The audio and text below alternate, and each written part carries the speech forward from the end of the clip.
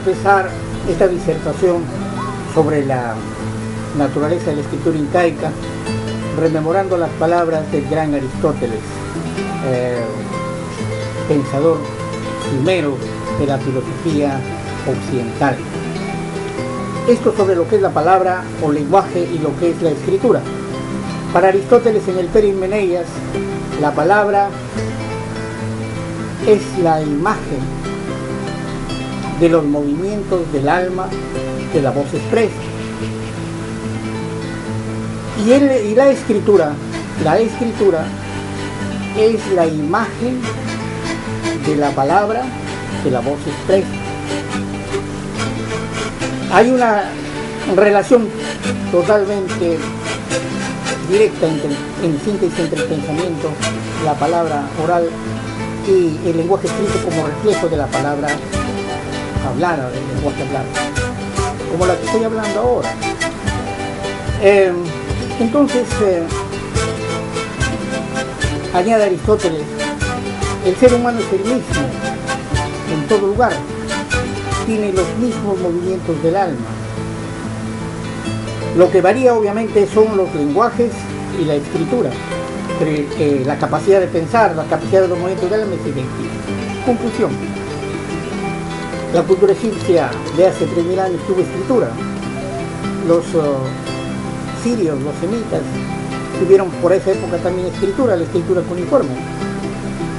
Inclusive la cultura maya tuvo escritura.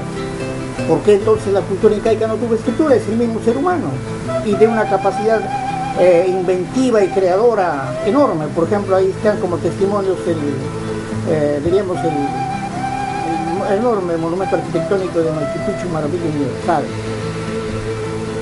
Entonces se cita en los, en las escrituras, en los textos de escritura, de filosofía del lenguaje, sobre los quipus, pero los quipus todavía un misterio indescifrable y para algunos solamente un instrumento de conteo. Bien, hay que parar mientes sobre los nudos. Realmente uno analiza los nudos y realmente los nudos, un nudo no es igual a otro nudo. Son diferentes nudos, diferentes formas, diferentes arquitecturas de nudos. Y cada nudo tiene un alma, tiene una imagen, tiene, un carácter. O sea, los caracteres realmente de la lengua incaica son los nudos. Los nudos, viendo su forma, la forma de los nudos, es esa. Y entonces el pensamiento, como decía, el pensamiento subjetivo que decía Hegel, se objetiviza en la materia como algo permanente, en este caso en los nudos. En los nudos está el lenguaje quechua, el lenguaje incaico. Tan es así que, por ejemplo, eh, los españoles cuando vinieron acá al Perú se dieron cuenta de ese fenómeno, en parte. Ellos consideraban hechos de brujería. Y por ello es que no hay tipos en, la proporción para leer la historia incaica, porque ellos lo incendiaron. En el concilio de Lima dictaron que se quemen, se vuelvan cenizas los tipos en el año 1583, 1583, es igual o paralelo como se hizo con la biblioteca de Alejandría. Entonces eso realmente es algo tremendo para nuestra cultura. Pero ahora, contra aquellos que solamente dicen que es un lenguaje eh, tipo abogado, que obviamente no es escritura, tenemos el tipo de Caral de hace 5.000 años. El tipo de Caral no es un abaco, es una conglomeración de nudos, como ustedes pueden ver el tipo de caral de hace 5.000 años antes de Cristo. De 5.000 a esta época obviamente hay un desarrollo de la cultura, un desarrollo del lenguaje, del lenguaje escrito. Entonces el que os habla ha analizado los nudos, ha visto su lógica de construcción y ha tenido que obviamente inventar, si se quiere, una lógica especial, la lógica constructiva de nudos, lógica dialéctica constructiva de nudos. Esta obra ha sido posible porque el que habla es profesor de lógica de hace varias décadas y tiene libros escritos sobre la materia y dictó cátedra de lógica en la Universidad de Lambayeque, en la Universidad Pedro Gallo y como profesor visitante en la Universidad de Sheffield. Allí dicté eh, clases sobre las paradojas en la lógica, en la lógica, en las paradojas, o sea, lógica. Eh, entonces decía que en el libro que yo he escrito, el manual de escritura incaica, que en, su versión inglesa, Manual of Writing in Kipus, entonces allí se cita la lógica de, constructiva de Kipus. La lógica constructiva de Kipus es el alma, el corazón filosófico de la construcción de Kipus. Ese tipo de lógica es la que han seguido los Kipukamayok, porque eso es una cosa excelente.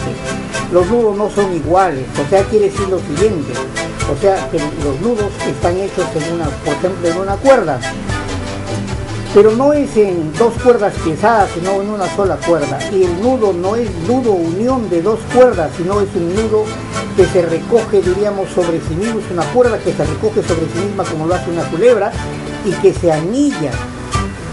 Y al anillarse, al ajustarse, se obtiene una forma, se tiene una impronta, se tiene un símbolo, se tiene un carácter. Ahora, esos caracteres eh, hechos en la cuerda y que se hacen en sucesivas cuerdas pendientes de una cuerda madre. Es simplemente el orden de la escritura incaica. Como decía Descartes, no hay ciencia si no hay un orden. En el corazón de la ciencia está el orden. La ciencia va de lo simple a lo complejo, entonces peldaño y peldaño, eh, cuerda y cuerda, entonces hay un sentido complejo.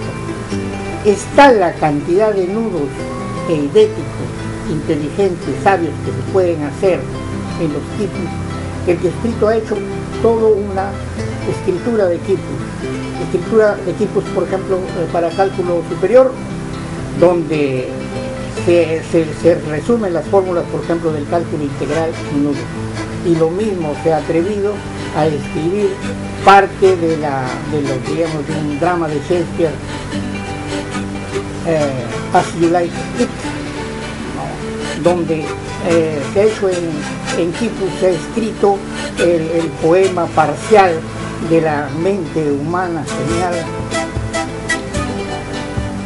universal de Shakespeare. Entonces yo decía que en cuerdas, eh, diríamos ásperas, realmente simples, elementales, de soga, puede escribirse el pensamiento más elevado, actual. Entonces, esto es lo real, eso es lo evidente que el que os habla ha hecho y como materia comprobable. Entonces, eh, obviamente, inclusive como medio de escritura, eh, es similar al, braille. Eh, el braille es una escritura, táctil,